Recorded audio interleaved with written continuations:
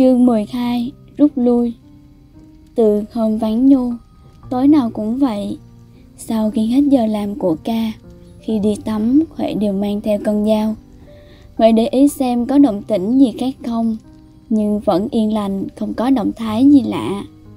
Huệ mong cho đến ngày nhận lương. Mười ngày sau khi Nhu về, Hôm nay Huệ nhận lương hai người. Trong đó có 20 ngày tiền công của Nhu. Đêm nào cũng thế, trước khi đi ngủ, Huệ nhớ lời Nhu và không quên lời cầu nguyện cho Nhu. Trong khi đọc kinh lúc trước lúc lên giường ngủ, Huệ cầu cho mẹ Nhu chống bình phục để Nhu sớm trở lại cùng làm với Huệ. Thời gian cứ vô tình lặng lẽ trôi đi, đã sắp đến lần nhận lương tiếp theo mà tin tức về Nhu vẫn lặng như tờ. Có lẽ mẹ Nhu bệnh nặng. Hôm ấy, Huệ đến gặp Nga tâm sự, Nga mời Huệ cùng về ở với Nga. Nga tưởng đây là sự trợ giúp, là ý tốt của Nga dành cho Huệ, thì có lẽ Huệ sẽ nghe theo. Nhưng Huệ nói, mình lại nghĩ khác, mình muốn rủ cậu cùng làm theo kiểu của mình. Nga hỏi, thế kiểu của cậu là như thế nào? Bằng một vẻ tự tin như người từng trải, về kinh nghiệm, Huệ ôn tồn. Thời gian qua, mình ở viện và những lần ông chủ nhờ mình đi mua hàng ở chợ mình thấy giá cả nhiều mặt hàng ở chợ khác nhiều so với giá trong dân. Ta có thể đi các làng mua các nhu yếu phẩm cần thiết, rồi về chợ bán hoặc đi bán dạo vùng dưới. Mình thấy kiếm chắc được. Nghe ngạc nhiên trước sự tức thời của Huệ và tỏ ra thán phục.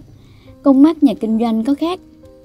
Huệ mỉm cười đáp, cậu khen quá rồi, cái này là bình thường, kiếm ăn lần hồi chứ có to tác gì mà nói là kinh doanh kinh chiết gì chi đâu thì mua thấp bán cao là kinh doanh chứ còn sao nữa. Cậu nói kiểu gì cũng được, nhưng mình bây giờ cần cái xe đạp để đi gom hàng. Theo cậu, nên mua loại xe như thế nào? Nga suy nghĩ một lát rồi nói à có con em này có chiếc xe đạp còn mới lắm, mà không sử dụng, để mình hỏi cho, giá rẻ thôi. Vậy thì nhờ cậu giúp mình nhé, rất cần đấy. Nga gật đầu, cái đó huệ khỏi lo, mình sẽ hỏi giúp trong những ngày chờ Nga hỏi mua chiếc xe cũ, Huệ dự tính cứ làm cho đến khi nhận lương lần tới rồi sẽ nghỉ việc luôn. Huệ trở lại phòng trọ, trong đầu lại hiện ra cảnh tượng của cái đêm đáng ghét dạo trước. Huệ sực nhớ lời Nhu dặn, bạn cứ cứng cỏi lên. Được, Nhu ơi, mình sẽ cứng cỏi. Bạn yên tâm đi, mình sẽ cứng như thép.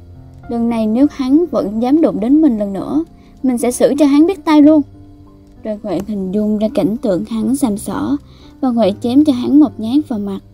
Ngay tức khắc, hắn gục xuống, máu chảy lênh láng khắp nền nhà tắm. Huệ rùng mình, tim đập thình thịch. Không, không được, mình không thể chém hắn được. Nếu hắn bị mình chém còn con dao này, thì khi ra pháp luật, mình cũng không thoát tội cố ý giết người hay tội cố ý gây thương tích. Hôm trước, Huệ lại thấy bóng đen thấp thoáng ẩn hiện đâu đó ngoài nhà tắm, làm Huệ lo thấp thỏm Huệ nghĩ, có lẽ hắn không biết mình có con dao và không nghe được lời phao tin của mình, hay là hắn biết nhưng hắn không sợ. Phải nhanh chóng đi khỏi nơi đây thôi, đừng để chuyện không hay xảy ra. Nhưng chỉ mấy ngày nữa là nhận lương, không thể để mất lương. Huệ phải nán ở lại nhận lương xong sẽ đi. Nhưng nếu lại dở trò thì tính sao đây?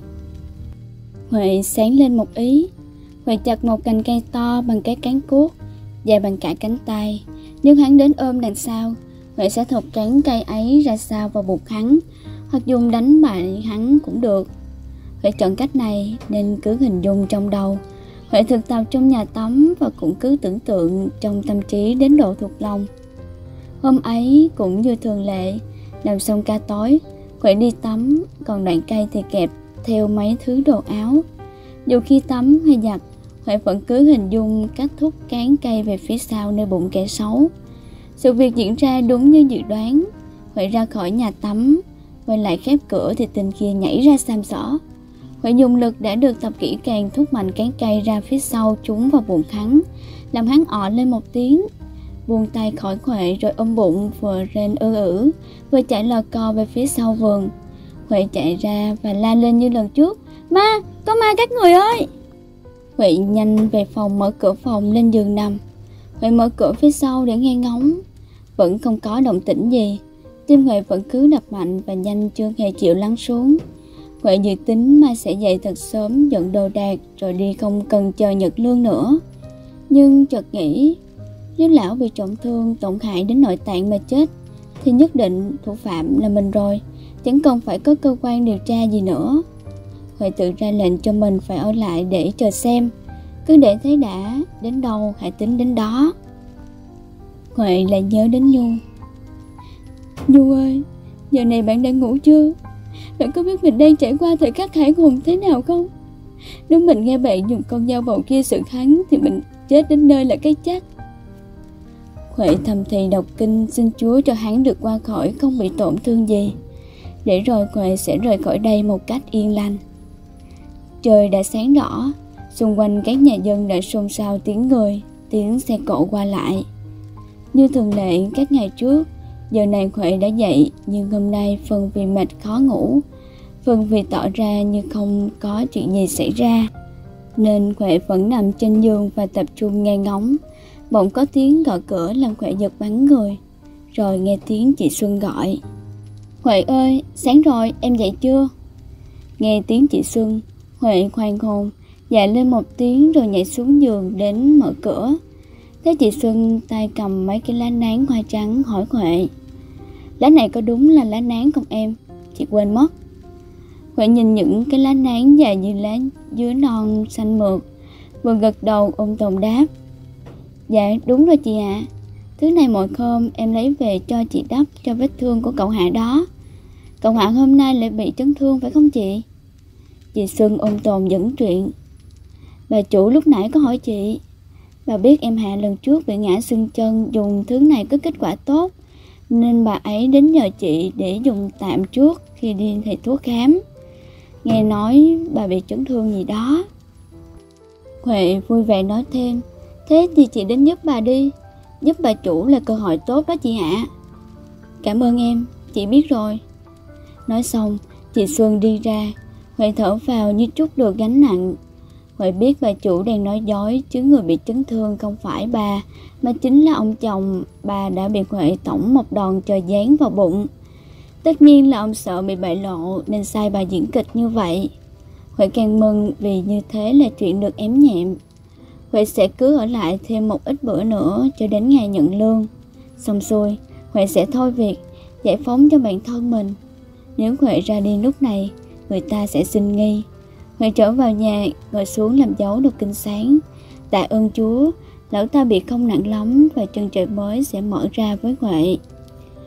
Huệ báo trước với người quản lý và xin nghỉ mấy hôm. Thế là Huệ rút khỏi nhà hàng, nơi mà bấy lâu nay Huệ xem là hang ổ. Nhờ có ngay nhất nên Huệ mua được chiếc xe đạp còn khá mới, còn tốt mà giá rất rẻ. Huệ thường vào khắp các vùng làng để mua những mặt hàng tự sản trong dân. Ai bán đàn gà, vịt, trứng hay ít bao tiêu, cà phê, đậu lạc, Huệ đều mua hết. Đến các loại hoa quả như chuối, mãng cầu, sầu riêng, Huệ cũng mua tất, miễn là giá cả kiếm được lãi vừa tầm. Huệ trở thành người trung gian là cầu nói lưu động giữa người cung và người cầu. Thời gian đầu, Huệ đem hàng đến bán lại cho người ngồi cố định bán ở chợ. Dần dần, Huệ còn đi rao bán trong dân. Có người không đi chợ, nhưng khi gặp Huệ cũng làm cho nhu cầu của họ được đáp ứng. Thấy cũng kiếm được nên Huệ rất tích cực. Có những hôm, từ sáng đến tối, Huệ ngồi trên chiếc xe đi cả ngày. Người ta biết Huệ ngày càng nhiều nên vai trò của Huệ ngày càng có giá trị cần thiết hơn. Huệ đã trở thành người của số đông, người của dân quanh vùng. Huệ đã có biệt hiệu gọi là Huệ thập cẩm, vì Huệ bán nhiều loại hàng như món ăn thập cẩm vậy. Cái danh hiệu này không có gì vẻ vang, nhưng có vẻ đúng hài hước và rất có lợi cho Huệ, nên Huệ không hề mặc cảm mà càng vui. Từ cái tên này, người ta biết cần bán thứ gì cho Huệ và ngược lại cần mua thứ gì của Huệ. Có người dặn vào ngày nọ, ngày kia đem cho con gà mái cho béo hoặc con gà trống tôm màu lá mạ, chân vàng, mãm màu lông sáng đẹp để con làm cổ đơm cúng. Có người dặn về nải chuối, ít quả sầu riêng, mảng cầu vừa độ chín tự nhiên. Nhờ sự đáp ứng được các nhu cầu của dân với giá phải chăng nên Huệ chiếm được tình cảm của khách hàng ngày càng nhiều. Huệ càng phải cung ứng nhiều hàng nên trên xe của Huệ có hôm chở rất cồng kềnh và nặng. Cũng vì nung nóng kiếm tiền nên suýt nữa thì Huệ mất mạng. Hôm ấy là ngày 14 tháng 7 âm lịch, ngày chuẩn bị cho ngày mai là ngày Vu Lan. Từ lúc sắp rạng đông, khi mặt trời mới trở mình chuẩn bị thức dậy thì Huệ đã chất hàng đầy xe. Nào chuối, mảng cầu, gà và các thứ cần thiết cho mâm cúng rằm. Phiên chợ ngày 14 tháng 7 này rất quan trọng. Người đi chợ đông như chợ Tết. Người ta xem đây là hàng cuối để lo sắm cho cúng rằm. Huệ một mình một xe vượt lên chợ. Nhập xong hàng liền quay về chợ thêm chuyến nữa. Cũng vì tính cấp bách của thời gian nên Huệ làm việc không kịp thở. Chất hàng xong là Huệ lên xe đi ngay. Khi đi đến một cái cầu, Huệ dùng hết sức mình cố đạp lên cho qua cầu. Nhưng Huệ đạp rất mạnh nên xe qua cầu bên kia vẫn cần dư tốc độ. Huệ phát hiện dưới góc cầu đang có một ô tô mở to ga để vượt lên. Huệ luống cuốn bẻ tay lái sang một bên, nhưng xe nặng không làm chủ được tốc độ nên ngã xuống, hàng đổ vương vãi ra xung quanh. Chiếc xe ô tô tiến lên cũng vừa kịp khựng lại nên không đè phải người. Huệ lẩm ngõm bò dậy, người đi đường đến giúp nhặt hàng cho Huệ. Nhưng chiếc xe đạp của Huệ không lái đi được nữa do bị ngã kẹt bánh xe. Lúc ấy cũng có một anh chàng đi xe máy ngược chiều. Thấy vậy, anh ta vội dừng xe giúp Huệ khiêng xe đạp ra phía ngoài lề đường để cho xe ô tô đi qua. Thấy xe đạp bị kẹt không đi được, An, tên của người đi xe máy, lấy bộ đồ sửa xe của mình ra để sửa xe đạp cho Huệ. Do đạp liên tục nên người Huệ nóng bừng mừng, một hôi nhảy nhại chạy ra, chán vương những sợi tóc mai loà nhòa, dưới ánh nắng mặt trời càng làm cho khuôn mặt đỏ lựng. Cộng thêm đôi mắt u hoài khiến An rất thương cảm. Vừa sửa xe đạp, An vừa hỏi thăm, vừa hiểu công việc của Huệ, An nói. Ở làng của anh rất nhiều thứ hàng như thế này. Ngày hôm nào em đến, anh dẫn đi mà mua. Gia đình anh cũng nhiều thứ tha hồ cho em mua. Huệ căn dặn, anh nhớ nhé, hôm nào em đến thì phải nhiệt tình đấy. An cười, thì em cứ đến mà xem. Sau một hồi tháo lắp, chỉnh sửa thì xe của Huệ đã ổn định. Huệ lại chất hàng lên xe. Cảm ơn An rồi đạp xe đi tiếp đến chợ. Hôm ấy, Huệ thắng lợi, bán được hai chuyến hàng mà giá cả còn lãi hơn ngày thường. Huệ thầm cảm ơn An đã giúp Huệ vượt qua trở ngại. Nhớ lời An hôm trước, Huệ tìm đường đến nhà An, trước là để xem tình hình cho công việc và cũng là để cảm ơn sự trợ giúp của An. Theo sự hướng dẫn của người chỉ đường, Huệ dừng lại trước cổng một căn nhà. Phía trong vườn có người đàn bà khoảng ngoài 50. Huệ gọi người đàn bà và hỏi Bà ơi, cho cháu hỏi đây có phải là nhà anh An không ạ? À? Người đàn bà đứng trong vườn nhìn ra trả lời Đúng rồi đó, cô hỏi chi thì mời đi vô Dạ Huệ đẩy xe đạp vào góc sân Dựng chân chống xuống cho xe đứng rồi hỏi Dạ bác, anh An có ở nhà không ạ? À? Nó có nhà nhưng vừa đi ra ngoài mua cái gì đó Chắc sẽ về ngay Anh An đi xe hay là đi bộ ạ? À? Nó đi bộ chút xíu nó về ngay mà Rồi bà hỏi tiếp Cô cần nó có chuyện gì quan trọng không? Dạ, hôm trước con chở hàng bị xe hỏng May có anh An sổ hộ. Anh còn nói trên này có nhiều loại hàng như những thứ hàng cháu mua, Và cháu cũng muốn đến cảm ơn anh An, Và nhờ anh chỉ dùng các nơi mua hàng ạ. À. Huệ nhìn lên và thấy có ảnh người con gái treo trên. Bên dưới có những cây hương mới cắm bữa rằm. Chân hương còn đỏ tươi. Qua mấy lời thăm hỏi, Huệ biết ông bà Bình, Cha mẹ của An có hai người con. An là người con trai đầu và người em gái tinh Nhiên.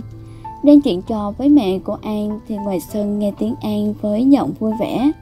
Nhà mình có khách rồi. An nhìn chiếc xe đạp biết là Huệ đến. Huệ đặt túi quà lên bàn và nói lời cảm ơn sự trợ giúp đỡ của An hôm trước. Phiên chợ rằm. An bảo, Em khéo bày vẽ. Anh là phái nam. Gặp phụ nữ như thế thì việc giúp đỡ đã là thường tình. Là trách nhiệm em à. An hỏi Huệ bán hàng ra sao Hôm ấy có hết hàng không Huệ vui vẻ kể rằng hôm ấy nhờ chữa xe kịp Nên đến chợ là khách sớm vào Nên hết hàng ngay Thật sự An cũng mong Huệ bán được hàng Khi thấy Huệ vui vẻ trả lời như thế Thì An cũng cảm thấy phấn khởi An dẫn Huệ đi xem vườn, ao, chuồng, nơi nuôi heo, gà, vịt và vườn cây ăn quả. Vừa đi, An vừa giới thiệu. Thỉnh thoảng quay lại nhìn Huệ đầy cảm tình. Hôm nay không phải như những buổi rong ruổi đạp xe đi kiếm hàng, mà đến nhà một chàng trai, lại là chàng trai ân nhân. Biết đâu đây sẽ còn là cơ hội giúp Huệ những điều mới như anh nói. Nên Huệ ăn mặc khá tươm tất. Dưới ánh chiều tà buông những sợi nắng vàng nhạt dịu dịu chiếu xuống khuôn mặt tươi hồng, ướt tí mồ hôi kết những sợi tóc mai trên thái dương xuống má. Trong Huệ càng đẹp hơn rất nhiều. Khác hẳn với hôm Huệ đang vội vàng khi xe ngã ở dốc cầu, nên làm cho An càng nhiệt tình, mặn mà muốn trò chuyện. Em cứ đến đây, cần thứ gì mẹ anh bán cho thứ ấy. Anh đã nói với gia đình anh rồi, em cứ tự nhiên. Sau đó, An cần dẫn Huệ đi đến một số nhà có nhiều thứ như Huệ thường mua, để Huệ có thể làm quen. Thấy An cởi mở, cung cách tự nhiên làm cho Huệ mạnh dạn hơn, vượt qua ngoài sự dè dặt, Huệ hỏi. Bức hình cô gái trong nhà đó là hình em gái anh à? An im lặng đi một lát rồi nói, không phải đâu. Thế là hình ai vậy? Em nghe mẹ anh nói ông bà được một trai một gái, mà anh là con trai trưởng. An đành phải nói thật dù An còn vương vấn. Đó là hình vợ anh, cô ấy ra đi năm trước. Vậy tỏ vẻ ái ngại. Em xin lỗi, em không biết. Thế hai người về với nhau được bao lâu ạ? À? An buồn rầu trả lời. Ba năm. Vậy anh An có con cái sao rồi? Anh chưa có con. Sao? Ba năm rồi mà. Vẻ trầm tư, An kể. Lần thay đầu bị hỏng, sau có lần nữa thì gặp tai nạn không cứu được nên thiệt cả hai mẹ con. Sự việc xảy ra đầu năm ngoái, nay cũng đã gần 2 năm rồi. Nghe An kể, Huệ tỏ ra ngậm ngùi, Huệ nhớ lại những ngày đau thương của mình vừa qua, càng cảm thấy mình còn may mắn.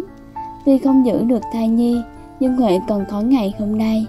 Thương cảm cho An, im lặng giây lát, Huệ chuyển sang đề tài khác. Ở vùng này em thấy có nhiều thứ em có thể mua Nhờ anh An giới thiệu cho em biết Vậy thì hôm nào công hàng em cứ lại đây, Anh luôn sẵn sàng mà Dạ em nhớ ạ à. Rồi Huệ chào An ra về